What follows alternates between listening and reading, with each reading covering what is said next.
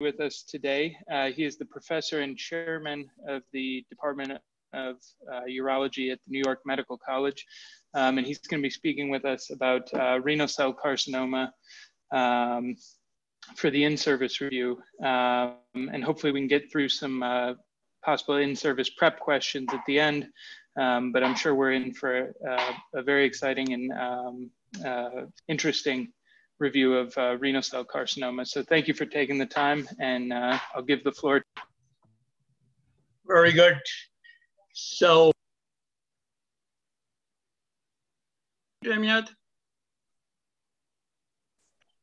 I'm sorry, I didn't catch that. Can you see the slide?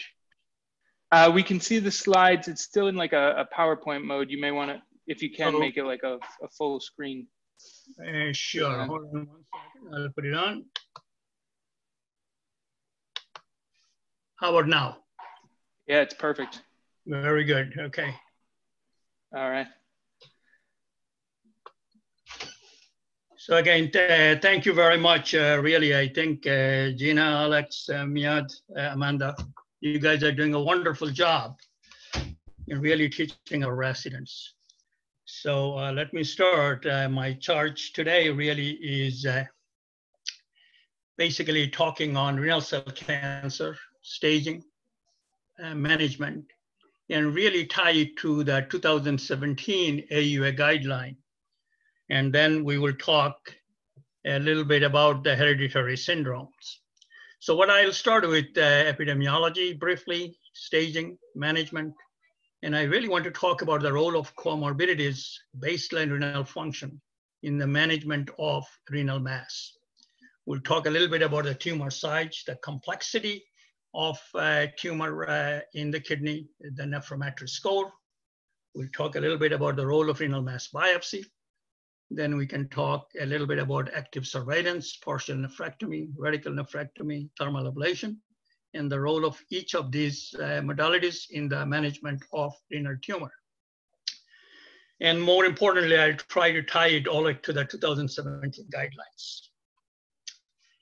So briefly about renal cancer, in 2020, the estimated number of new cases to be seen is close to 74,000 and approximately 14,000 deaths will be directly related to renal cancer.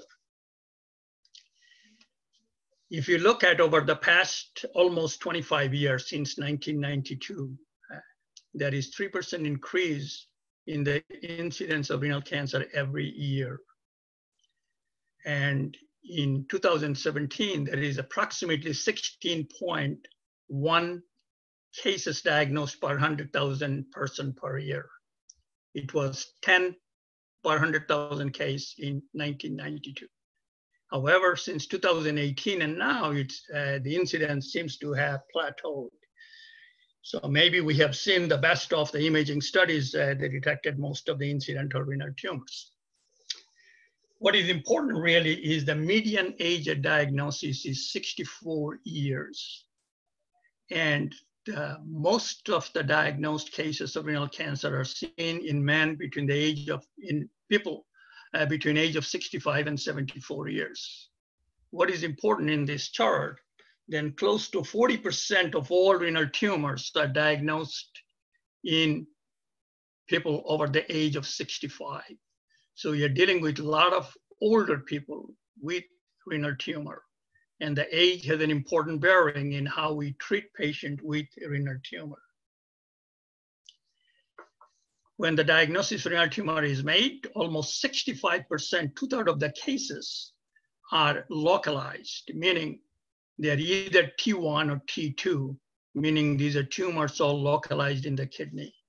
And when you look at 65% of the renal tumors are localized, and those people, when you treat them, the five-year survival is 92.6%. That is really is excellent. The next most common we see is the regional tumor. That means renal tumor which has metastasized to the regional lymph nodes.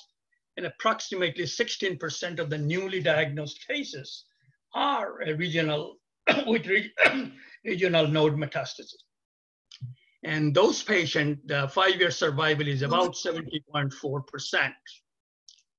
About 16% of the newly diagnosed cases are metastatic renal cancer, and the five-year survival of those patients are pretty dismal at about 13%.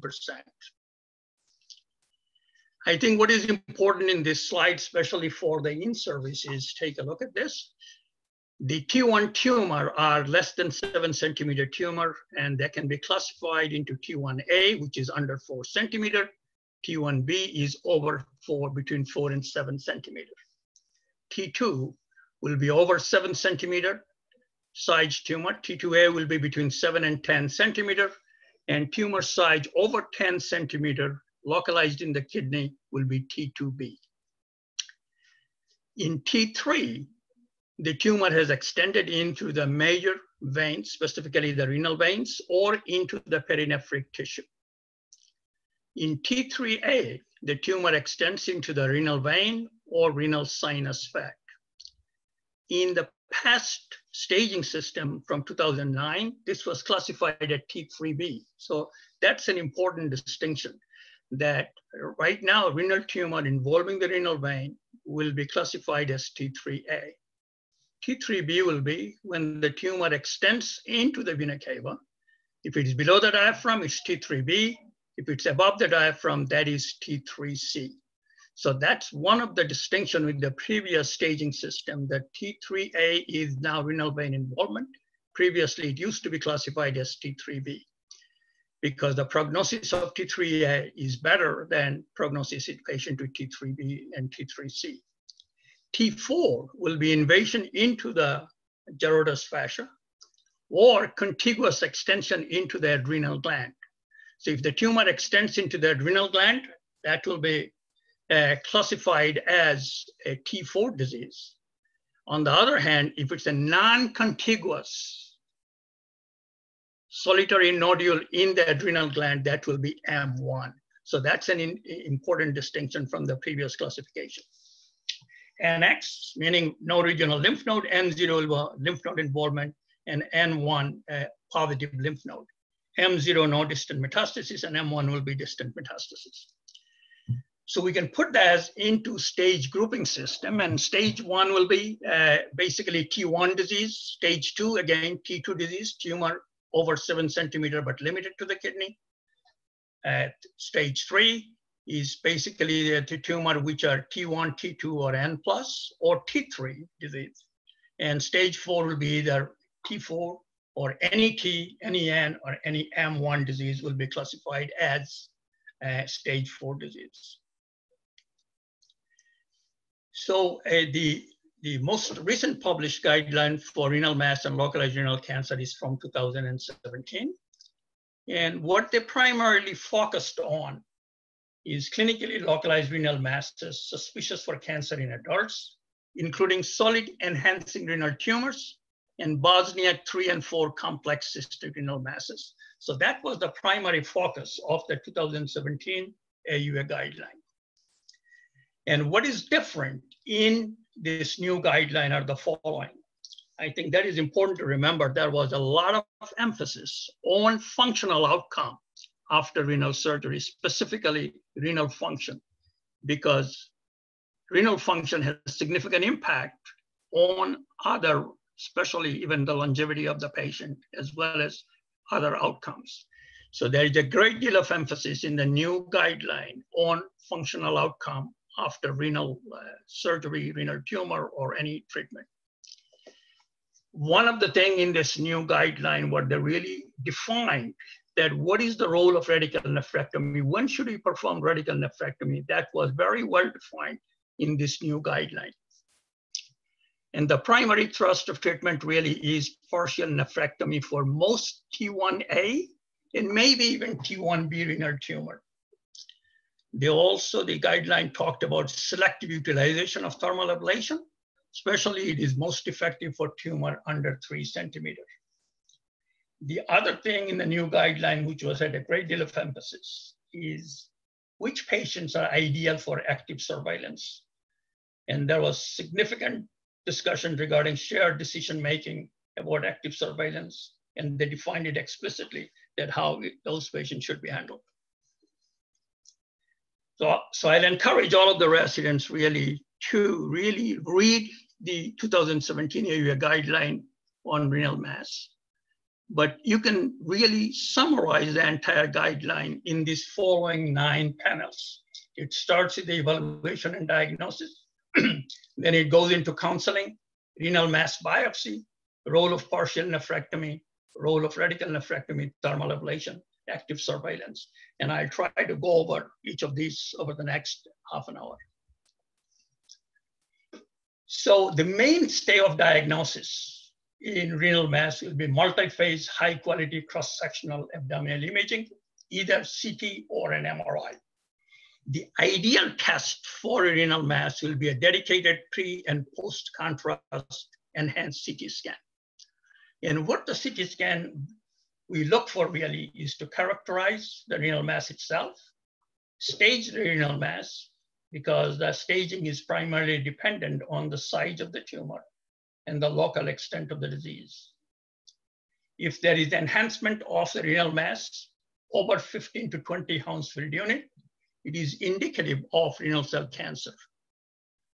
In the CT, we try to assess for local advanced feature, such as is it involving contiguous structure, such as the adrenal gland, or any other contiguous structure.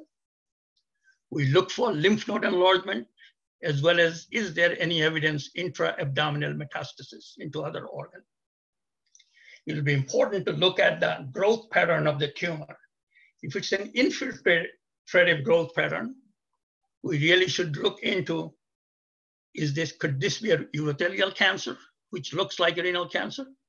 Could this be lymphoma, infectious process, or a sarcomatoid tumor? All of these should be in the differential diagnosis. If a renal mass showed substantial amount of fat, then that will be indicative of an angiomyolipoma. If for some reason we cannot do a CAT scan, MRI is an alternate modality for characterization of renal mass. Enhancement of over 20% with ibogadolinum is suggestive of RCC. And MRI is helpful in defining tissue plane and extent of vascular involvement, especially if you're looking for extent of vascular involvement, renal vein, vena cava, MRI is great for that one. There is, of course, some concern with MRI and nephrogenic systemic fibrosis. It happens mostly in patients with a stage four or five kidney disease or patients who are on dialysis. The newer gadoliniums are usually less likely to cause nephrogenic systemic fibrosis. So MRI will be an alternative to CT scan in defining renal masses. What else should he do? The patient should have a comprehensive metabolic panel, the CBC and the UA. Normally, we will only do a chest x-ray. We do a chest CT scan if there are pulmonary symptoms, chest x-ray is abnormal, or there is a high-risk disease where you suspect pulmonary metastasis.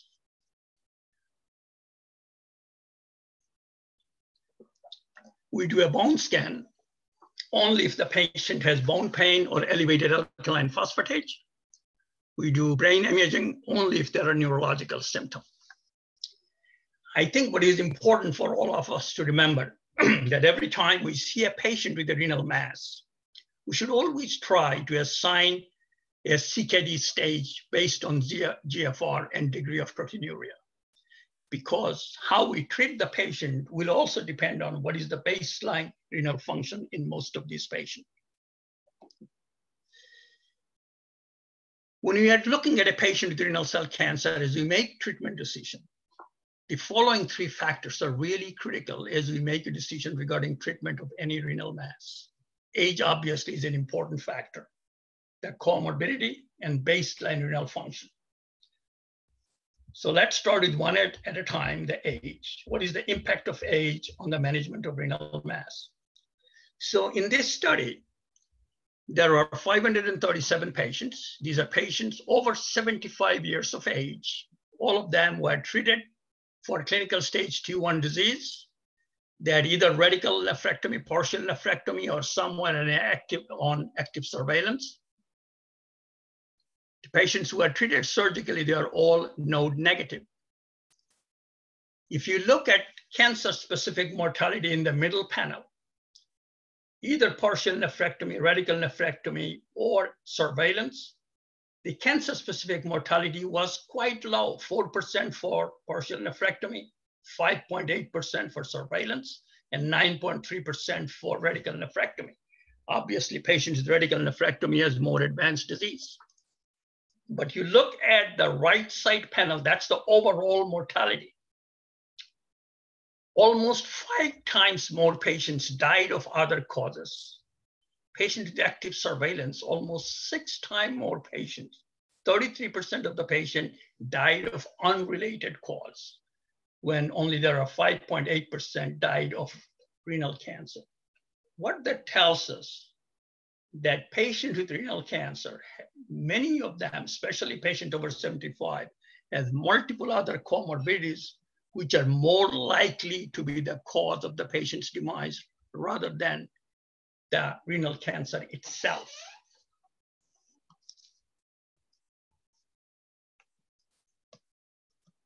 This is another study, and this is a SEER database study. And these are patients over the age of 66. And these are patients, again, kidney cancer treated with surgery, either partial or radical nephrectomy. All of them had pathologically negative node status. And if you look at the 10 year cancer specific mortality was only 11.9% in that group of patients. On the other hand, overall mortality was four times higher at 44%. What that means that many of the patients we see with renal cell cancer, they are older and they usually have multiple other comorbidities and many of their cause of death is unrelated to renal cancer. So we always have to consider age itself as an important factor as we decide on the treatment, as well as other comorbidities. This study from Hopkins, uh, they basically looked at the cardiovascular risk and cancer deaths.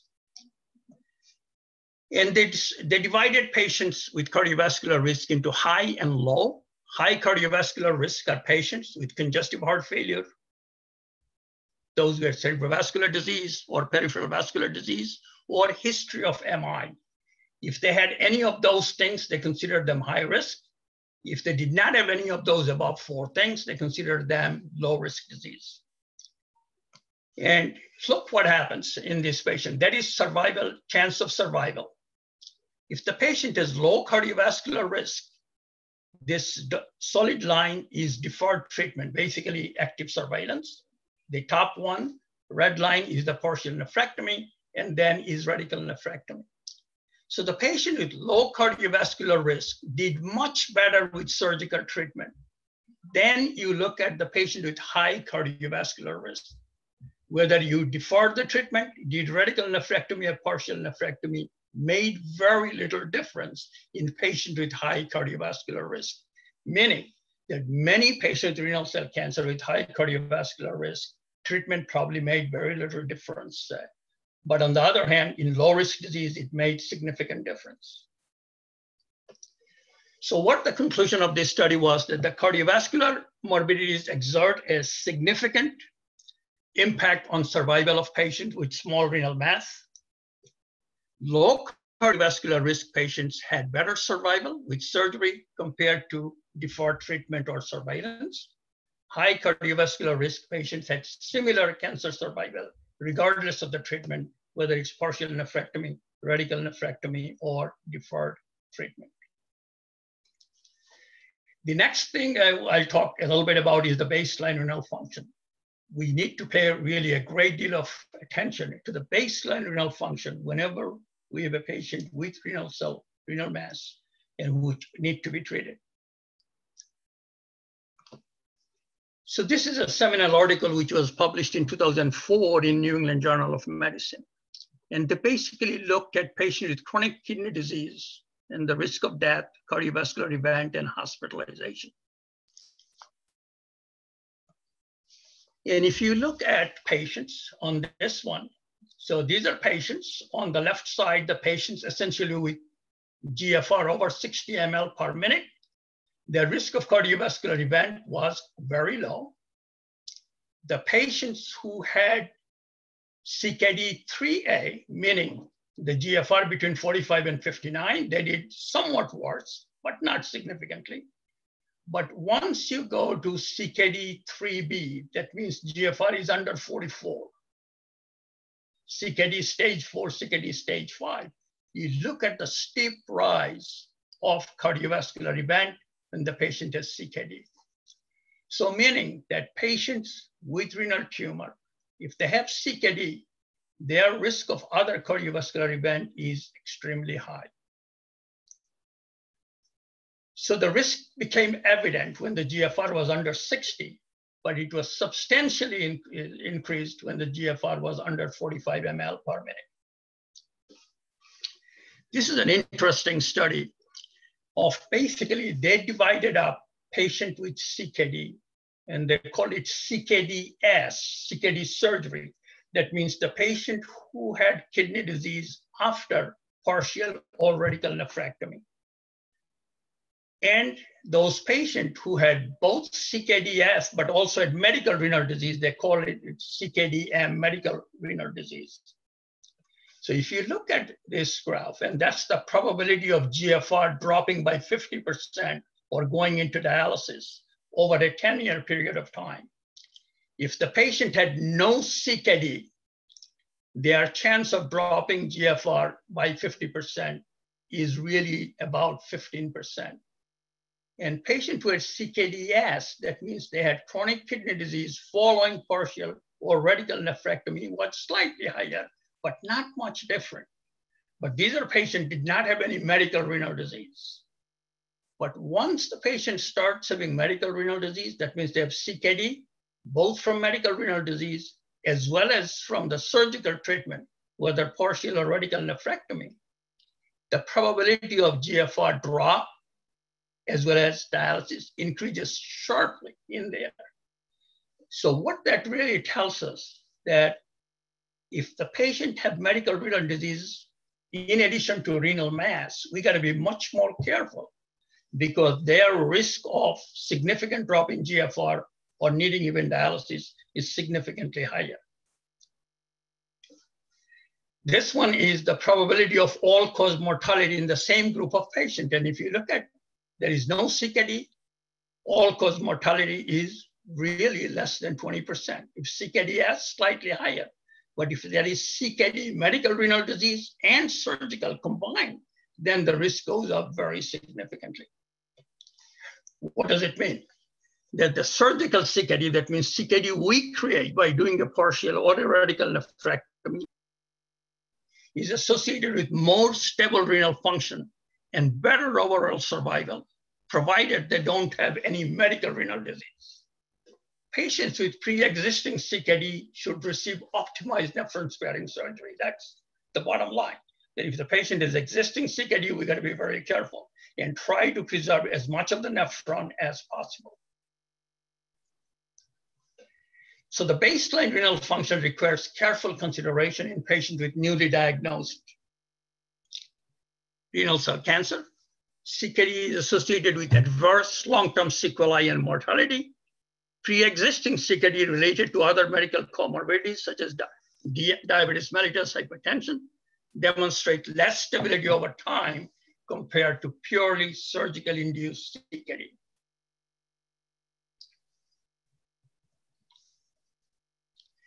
That's why, you know, the guideline puts a lot of emphasis on counseling the patient, that how we should, the counseling of the patient should be led by the urologist, we should really look at the biology of the tumor. We'll talk a little bit about this. We specifically really should address the issue of comorbidities and specifically issue address the issue of renal function as we decide how the patient should be treated.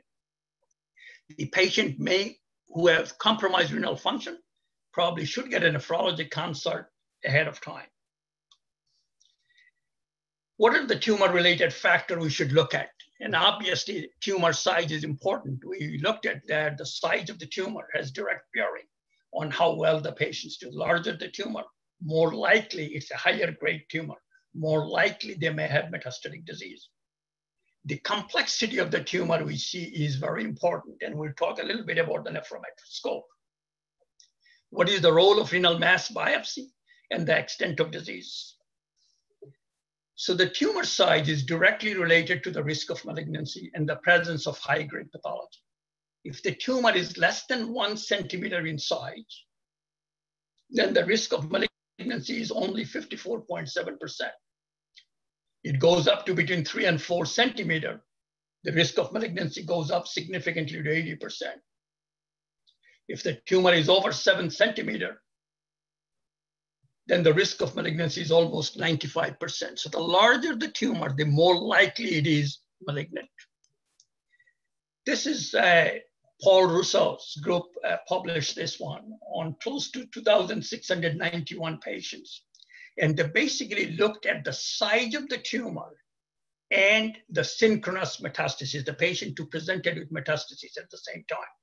So you look at tumors under three centimeter, the chance of having metastasis at the time of presentation is only one in 781 patients. So it is extremely rare. On the other hand, as the tumor becomes larger in size, especially over five centimeter, the risk of synchronous metastasis increases dramatically. And once the tumor is over seven centimeter, the risk of synchronous metastasis at the time of presentation is almost 17%.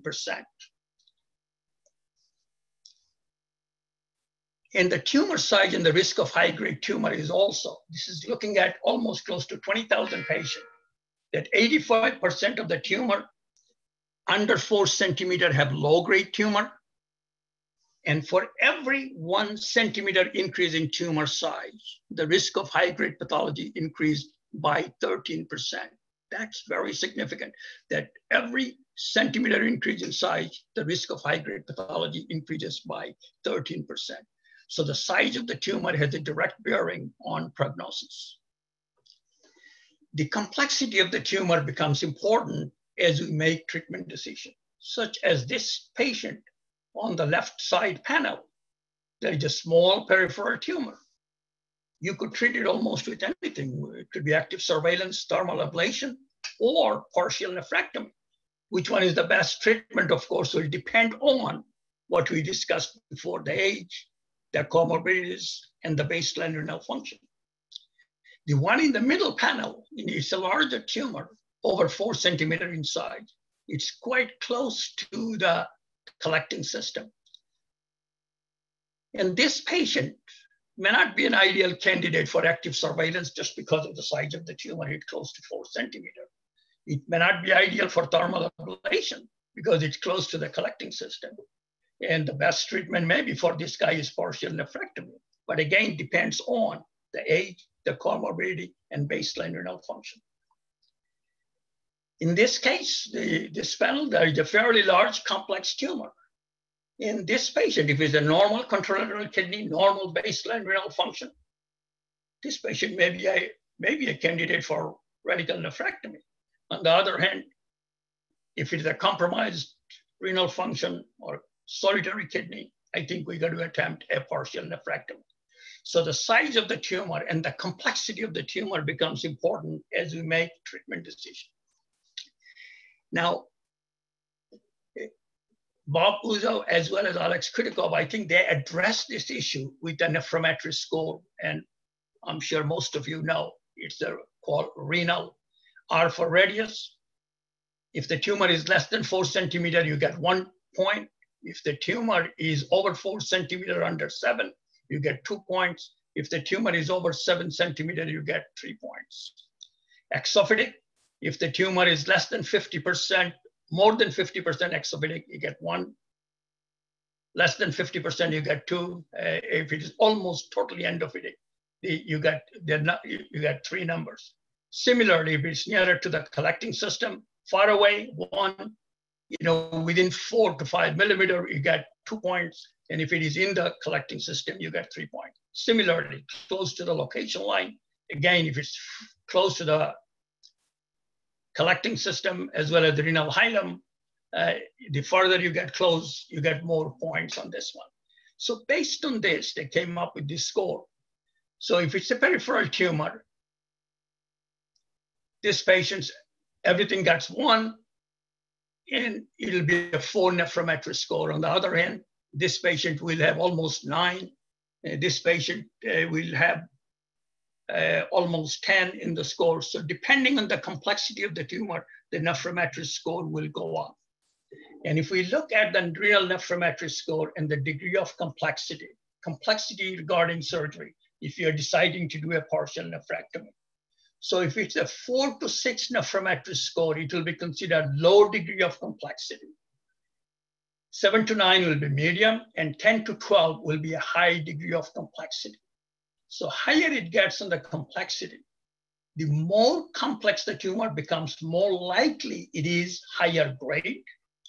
The more likely it is, it is going to be a more difficult partial nephrectomy if that's what the patient needs. And it is more likely the patient with higher complexity will have higher degree of complication.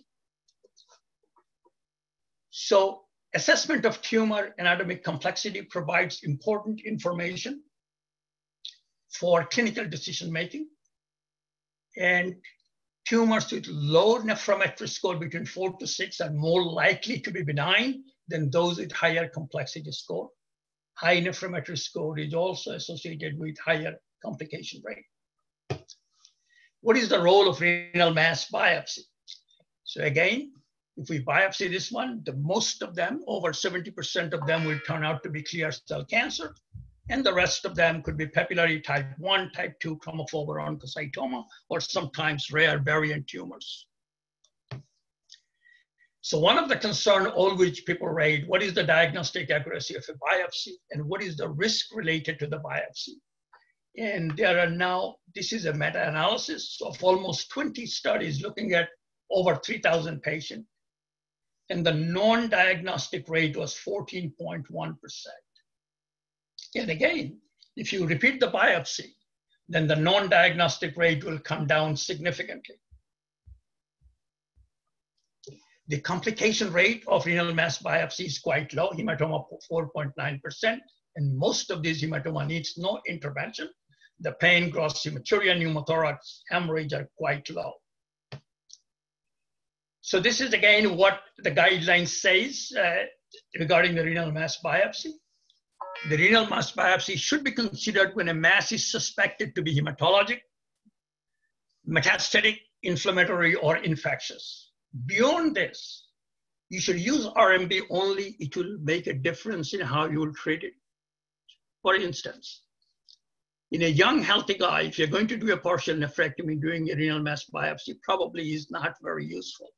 Same is true. If the patient is older and frail, and you are going to be observing the patient, probably does not make a difference if you do a biopsy.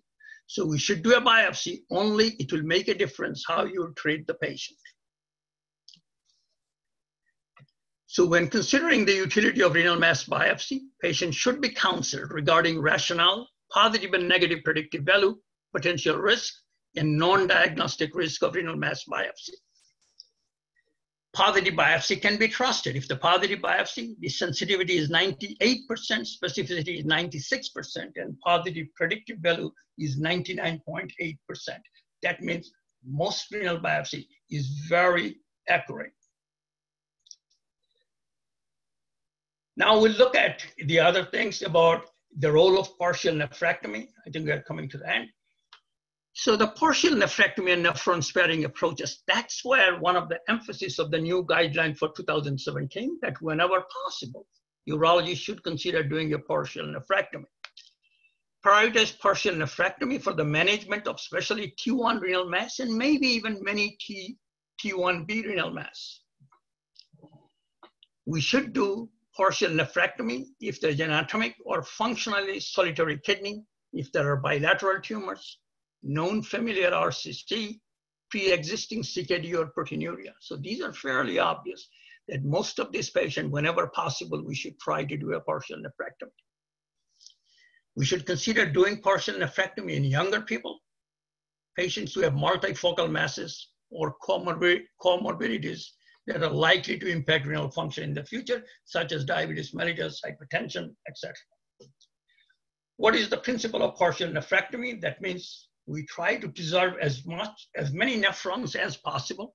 Is a wide margin necessary? The margin should be really dictated by the surgical team that if the tumor is complex, we might go with a smaller margin. So the margin will be at the discretion of the surgeon uh, at that point. We should always try to achieve a negative surgical margin should be a priority because people with positive surgical margin have the higher risk of local recurrence. So every attempt should be made to attain a negative margin. We can consider enucleation rather than partial nephrectomy in patients with familial renal cell cancer, multifocal disease, or severe CKD. What, what is the role of thermal ablation? Again, the new guideline define the role of thermal ablation. It should be, it can be considered as a treatment alternative in patient with less than three centimeter tumor in size. We should counsel the patient about thermal ablation that there is an increased likelihood of tumor persistent or local recurrence after primary thermal ablation relative to surgical extirpation, such as partial nephrectomy. However, even if there is local recurrence after thermal ablation, you can do a second treatment, especially patients with multiple comorbidities. Patients who elect to have thermal ablation, a percutaneous technique is preferred rather than laparoscopic or open. Both RFA and cryoablation are options. And we should, RMB should be performed prior to ablations to know the grade of the tumor. I think that can be important in decision making. What about active surveillance? So for patients with a small solid or Bosniak 3-4 complex cystic renal mass, especially those under two centimeter, active surveillance is an option for initial management. However, whenever we are talking about active surveillance, it sh should be a shared decision making between the patient and the surgeon. We should carefully consider the anticipated risk of intervention, especially for partial nephrectomy or thermal ablation. And we should always consider the competing risk of death, like we have talked about previously.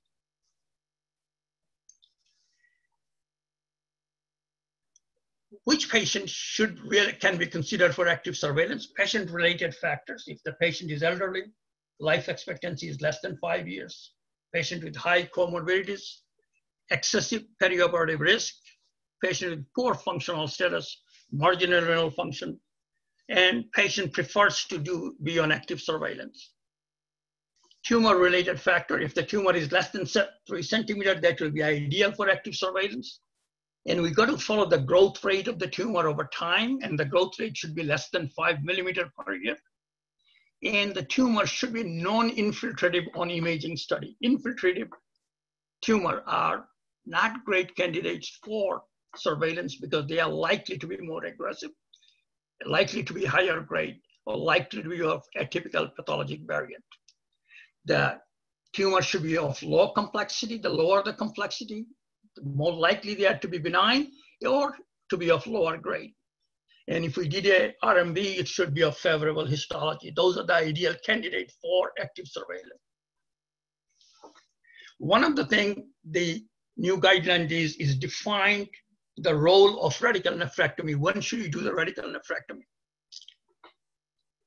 Physicians should consider radical nephrectomy for patients where increased oncologic potential is suggested by the size of the tumor. If the tumor is big, if you did a renal mass biopsy, higher grade tumor, under imaging, like one on the right side, which is encroaching into the collecting system, these patients may be candidate for radical nephrectomy, provided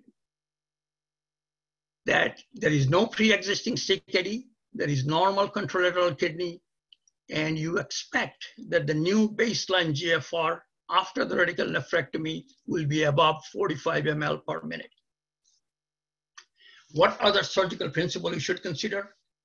In the presence of clinically concerning, uh, if there is a concerning for regional lymphadenopathy, we should do a lymph node dissection.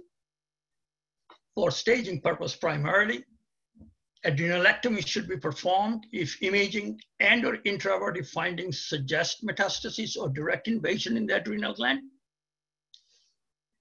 you know, we should always prefer a minimally invasive approach, uh, if possible, for the surgical procedure.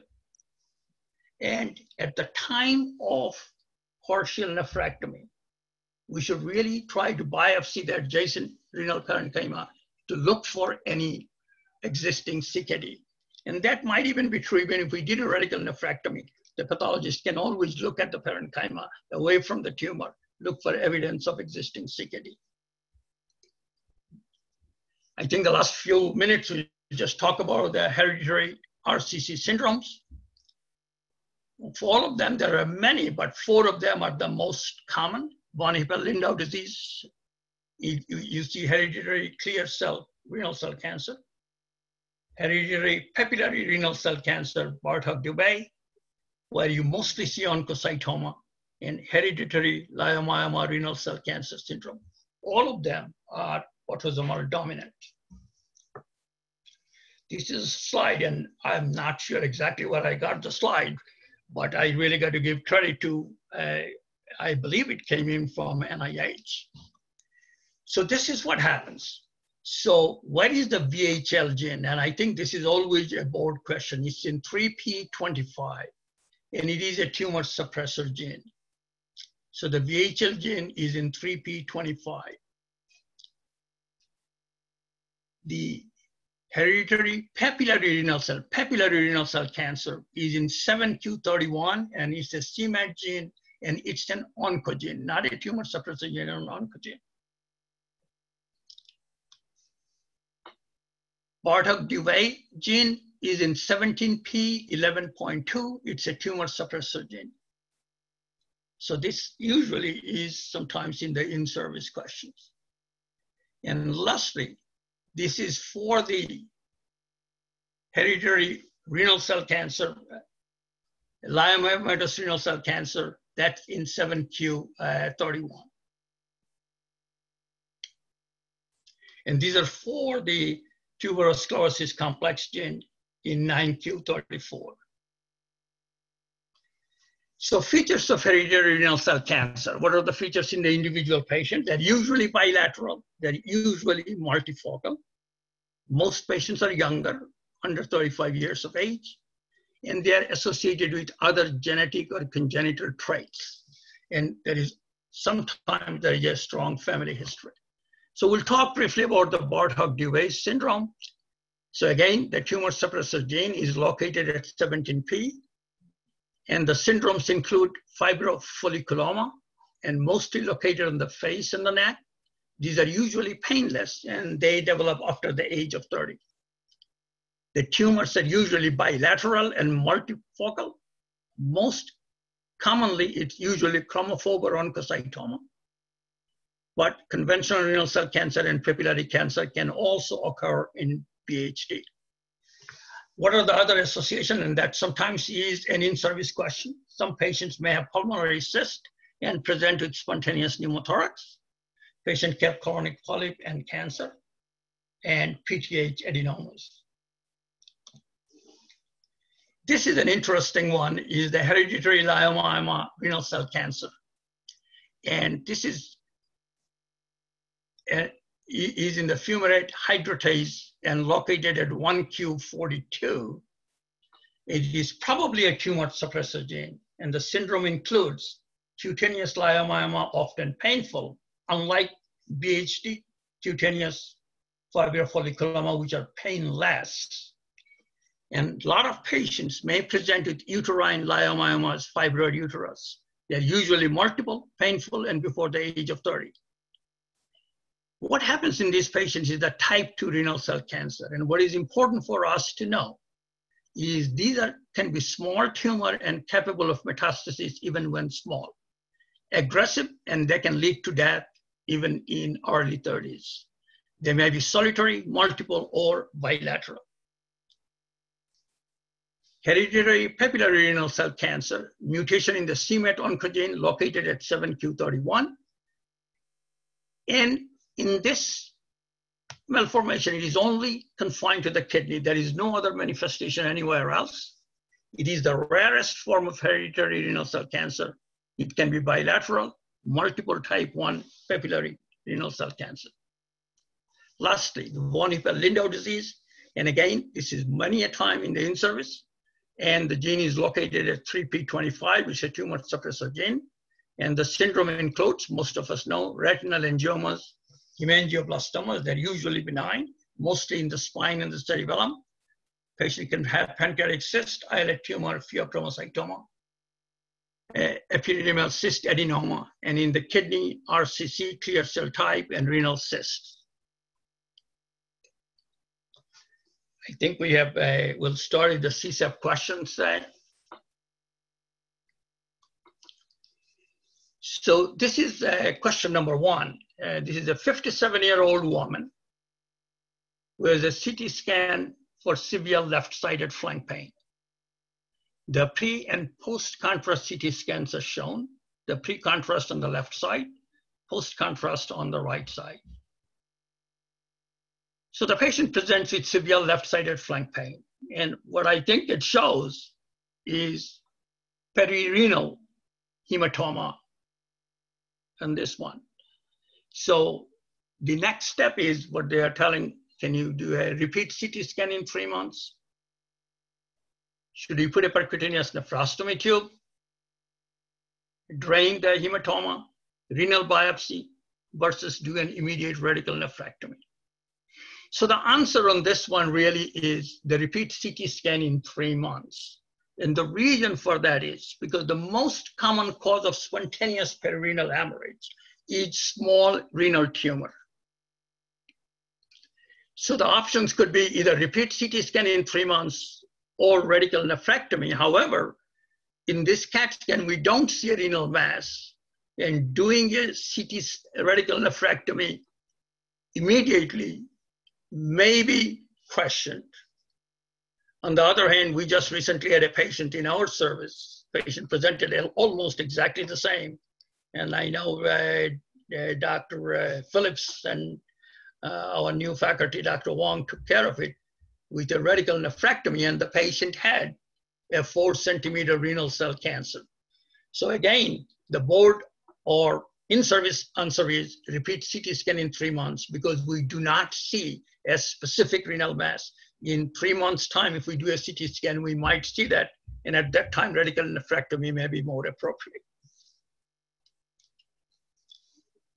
A 39-year-old man, this is the second question, a 39-year-old man with VHL disease has a four centimeter left upper pole renal mass and several simple appearing lower pole renal cyst on the right side. The right kidney also has several cysts as well as a two 1.2 centimeter lower pole solid masses. Renal function is normal. The next step is. So on the left side, he has a four centimeter renal mass and several simple appearing cysts. On the right side, 1.2 centimeter mass. That's where the patient is. Should the patient have radiofrequency ablation of the left renal mass? Now, it's a four centimeter mass. It might be quite big for radiofrequency ablation. Staged bilateral radiofrequency ablation. The tumor on the right side is 1.2 centimeter and tumors less than three centimeter with VHL disease. A lot of time we should watch them to see if they grow. So that is not the answer. Should you do a left radical nephrectomy? We should always try to avoid a nephrectomy in patients with VHL disease because they are usually bilateral. So that is not the answer. Should you do left renal exploration with resection of solid mass and renal cysts and bilateral partial nephrectomy? Because the mass on the right side is small, less than three centimeter, that can be watched. So the answer in this patient because the mass on the left side is four centimeter. That should be excised and the cyst should be removed because there is always some risk of developing tumor in those cysts in VHL. So the correct answer on this one is D, which is left renal exploration with resection of solid mass and renal cyst. A 68 year old man, this is the third question, has a five centimeter partially exophytic, 40% exophytic, that means 60% endophytic. enhancing renal mass with a renal nephrometry score of 12.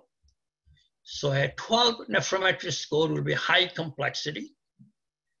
He has creatinine of 0.8 milligram per deciliter and a normal appearing contralateral kidney. He has moderate COPD and cardiovascular disease. According to the AUA guideline, the next step is, so this is the guy, a high complexity tumor. The serum creatinine level is normal. Even if you remove that kidney, the CKDS should not be too bad. The guy has COPD and cardiovascular disease.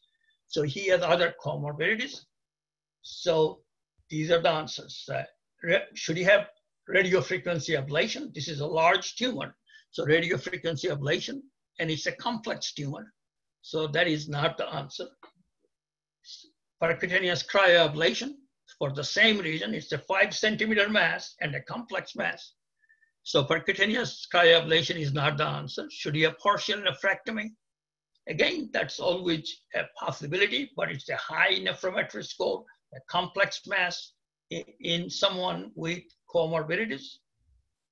And he has a normal renal function, normal appearing contralateral kidney. So the answer in this case is D, which is radical nephrectomy. Radical nephrectomy because high complexity renal mass, normal serum creatinine, even if you did a radical nephrectomy, the GFR should be over 45 ml per minute. A 78 year old man has a three centimeter solid enhancing mass at the posterior aspect of his right kidney. Biopsy reveals renal cell cancer, grade three. His creatinine is 2.1. He is treated with percutaneous cryoablation. Imaging one year later demonstrate persistent central enhancement of the tumor bed. So this is a 70 year old older man three centimeter solid enhancing mass, but his RCC is grade three. Creatinine, he already has baseline renal dysfunction, 2.1. He had cryoablation. A year later, it still shows enhancement in the tumor bed. What should be the next step? Observation. I think that can be a reasonable option. The guy is 78, and you can see what happens to it. So that can be an option. Renal mass biopsy. So usually, if the patient had a biopsy-proven grade 3 renal cell cancer, you did cryoablation, and you see central enhancement, you don't need to do a biopsy because it is recurrent or persistent tumor. So renal biopsy is not needed. Should you do a repeat cryoablation? Should you do a partial nephrectomy? Should you do a radical nephrectomy? Obviously, we should not do a radical nephrectomy he already has compromised renal function. Partial nephrectomy in this patient can be difficult. Plus, this gentleman is 78 years old with compromised renal function. And there is no guarantee that you can do a partial nephrectomy after a cryoablation. So we might end up either losing the kidney or lose significantly more renal parenchyma than we think. So in this patient, I think the guideline is very clear that in this patient, if you have thermal ablation, there is residual or recurrent central enhancement. Usually you think of these recurrent tumor in there and they can be treated with repeat cryoablation because the result is not bad with the repeat cryoablation. So repeat cryoablation is the answer in this patient.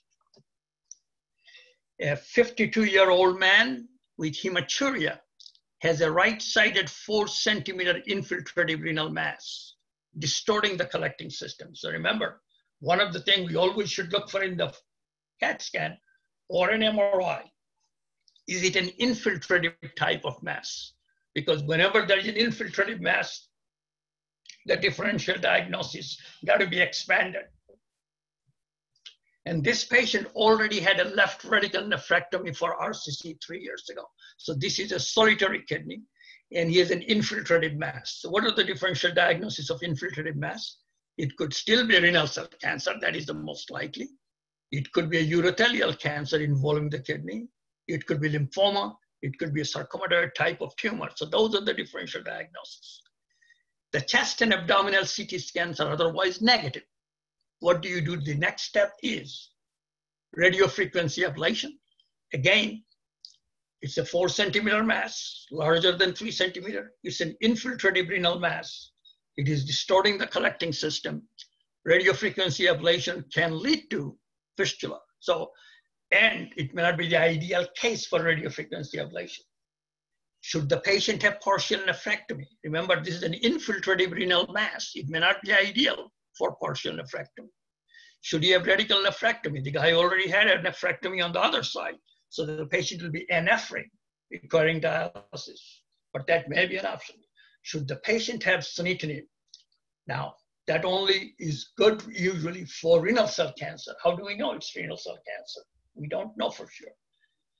So the percutaneous biopsy of the renal mass will be the answer to establish the diagnosis because it might turn out to be urothelial cancer. Then chemotherapy will be a, ideal depending on the renal function and other things. If it's a lymphoma, you treat it for lymphoma. So a percutaneous biopsy of the renal mass before doing any definitive therapy, I think is the answer in this guy with a solitary kidney and four centimeter infiltrated renal mass. Question number six, during left radical nephrectomy for a large tumor, a major artery is inadvertently transected, large renal tumor, and it is on the left side. The artery most commonly mistaken for the renal artery in this setting is the, so anybody who has taken care of large tumor if it did not happen, uh, I'm surprised. It does happen. It, it has happened to me at least twice. So, eh, so how about the most artery most commonly mistaken for the renal artery in this setting is, is it inferior mesenteric artery? Usually no, it's fairly low. So it is unlikely to be mistaken. Superior mesenteric artery, inferior adrenal artery, splenic and hypertrophic lumbar. Of all the things which is because when there's a large mass and displaces the aorta, a lot of time the superior mesenteric artery wraps around the mass itself. And that can sometimes be mistaken for renal artery. So on the left side, superior mesenteric artery is the answer. The VHL. uh, Dr. Choudhury, I, I apologize. Just um, I, uh, we're we're butting up against the hour, so maybe we can make this the uh, the last question, if that's okay. No, no problem. Absolutely. The VHL tumor suppressor gene regulates the expression of basic fibroblastic growth factor, epidermal growth factor, c-Met, proto-oncogene, VEGF transforming growth factor. The answer is D, vascular endothelial growth factor. I'll end there. Thank you. All right. Thank you so much um, for sharing your time with us, uh, Dr. Choudhury. That was an excellent talk and a, a, great review of RCC, and those questions were very helpful. Um, I just want to let everybody know that um, on Thursday, we're going to be having a bladder cancer review with Dr. Sfakianos of Mount Sinai. Um, and again, we send all our um, our thanks to you, Dr. Choudhury, for, uh, for both your time and expertise in this topic.